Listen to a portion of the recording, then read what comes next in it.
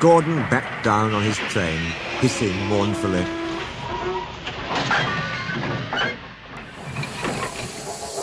Cheer up, Gordon, said the Fat Controller. I can't, sir. The others say I've got boiler ache, but I haven't, sir. I keep thinking about the dreadful state of the world, sir. Is it true, sir, what the diesels say? What do they say?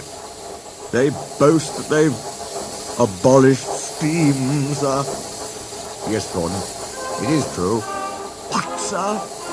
All my Doncaster brothers drawn the same time as me? All gone, except one. The guard's whistle blew, and Gordon puffed sadly away.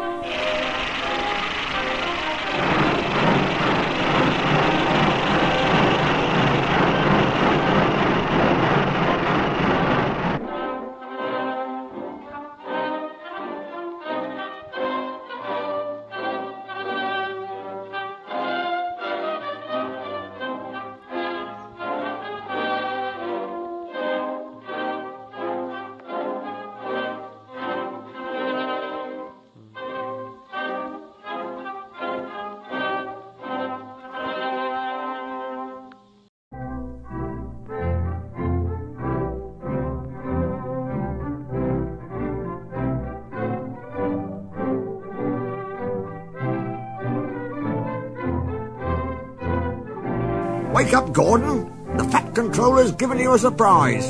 Look! Gordon could hardly believe it. Backing towards him were two massive green tenders, and their engine shape was very like his own.